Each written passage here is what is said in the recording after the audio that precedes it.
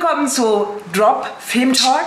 Bedtimes at the El Royale, aber gute Zeiten fürs Kino, würde ich behaupten wollen. Ja, gute Zeiten, schlechte Zeiten, ha? also ein unfassbar guter Film, also richtig krasses Kino. Ja, hier sind wir uns mal wieder einig, äh, dass der Film doch Ich sag mal, spannend war, mysteriös, witzig und unglaublich schön anzusehen. Ja, es ist wirklich irre. Es gibt wenig Filme, wo ich im Kino gesessen habe und ähm, kaum atmen konnte, weil ich so permanent angespannt gewesen bin. Das letzte Mal ist mir das passiert bei Mad Max, wo ich echt dachte so, oh Gott, wann, wie lange noch, wie lange noch, ich jetzt komme noch raus, oh Gott, ist das gut? äh, und ähnlich ging es mir hier auch. Ja, das, dieser Film ist auf so vielen guten Ebenen gut.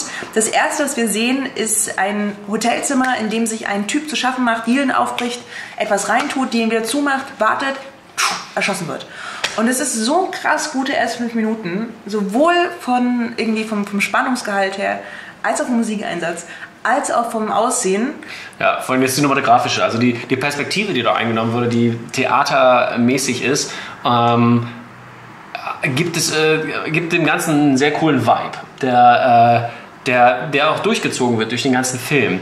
Man hat viele Close-Ups gehabt, man hat... Ähm, So Kameras, die zum Beispiel den Raum nach und nach erkunden Richtig, und da richtige genau. Preis geben, ist auch super spannend gemacht. Und ich finde, das ist richtig cool. Der, der Regisseur probiert gefühlt alles ja. aus. Ist, er legt sich auch nicht fest auf ein Stilmittel, sondern er guckt wirklich, worauf habe ich in dieser Szene Lust Ja. und zieht halt durch. Genau. Was ich stark finde, was ich richtig stark finde. Ja, Drew Goddard äh, hat ja nach Cabin in the Woods, der auch ein unglaublicher Film äh, ist, ähm, Lost gemacht, da hat er Buffy vorher gemacht, dann hat er Daredevil gemacht, so viele Sachen. Und jetzt, äh, wie gesagt, seinen, seinen zweiten großen Film, den er machen durfte, hat er so out of the park gehittet, wie man so schön sagt, ne? Das ist also richtig krass, wenn ihr, mal, wenn ihr mal Kino sehen wollt, sozusagen jenseits von Mainstream-Bullshit, Mitte. Geht da rein. Auch wenn ihr wirklich einen harten Magen mitbringen müsst, weil es ist schon, es ist halt nicht nur Cry, also Mystery, sondern es ist auch irgendwie Splatter. Splatter? so nah dran. nicht Splatter. übertreiben, nicht übertreiben. Es splattert zumindest. In ganz das. Horrorgenre würde ich diesen Film nicht mal ansatzweise stecken, Nee, aber, gut, äh, aber es ist schon so ein, ist schon ein blutiger Film. für, für Zeit, äh, für za- äh, zart betuchte. Ist eher raw als medium.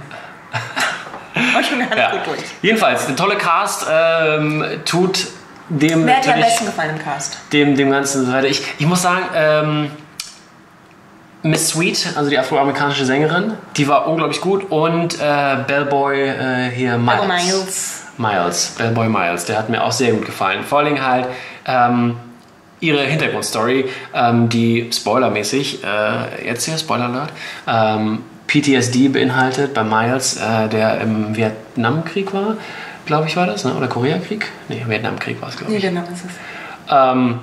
Und da so viel erlebt hat und das sich so überträgt auf sein Leben und man das erst am Anfang gar nicht weiß und es erst, erst wirklich am Ende mitbekommt, was da passiert. Ich finde bei dem übrigens ganz stark, ähm, da müsst ihr mal drauf achten, seine Mimik. Ich Ja. finde, der spielt Ja. so subtil im Gesicht und das finde ich macht einen guten Schauspieler aus, wenn er irgendwie, wenn da so viel im Gesicht passiert, aber ohne dass also so Johnny Depp-mäßiges Gequietsche passiert, sondern einfach so, Ja. so subtil leise Stimmungsländer. Ja, ich finde es auch echt super. Und äh, wie gesagt, äh, äh, Miss Sweet, Mar Marlene Sweet, glaube ich, hieß sie, ähm, spielt auch unglaublich super. Und ihre Geschichte auch, ähm, wie sie versucht, äh, eine großartige Sängerin zu werden, einen, einen Vertrag zu bekommen und womit sie sich rumschlagen muss, mit vor allem den Männern, die in diesem Film ähm, versuchen, ihre Macht zu zeigen gegenüber Frauen, äh, ist einfach äh, sehr gut umgesetzt. Wo- Ich greife das mal gleich auf. Das ist nämlich eine ganz spannende Geschichte, finde ich, diese, ähm, wie mit Männern und Frauen in dem Film umgegangen wird.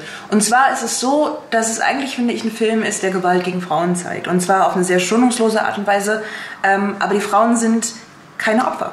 Und das finde ich richtig, richtig stark. Es ist sowohl irgendwie ähm, ein Schwesternpaar, das sich irgendwie selber befreit aus ihrer Misere, ähm, aber auch also Darlene Sweet, die eben es gibt diese eine Szene, wo sie mit Chris Hemsworth gefühlt diesen, also sein Kostüm von einem Ja. offenen Hemd selber schneiden seine seine Abs lenken auf jeden Fall ganz schön ab.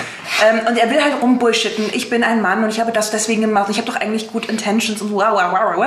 Und sie sagt, Bullshit. Ich habe das alles schon hundertmal gehört. Nervig, Männer, die mir nervig. sagen, ähm, ich habe es doch nur gut gemeint, deswegen musste ich. Und das, ist, das habe ich schon tausendmal gehört.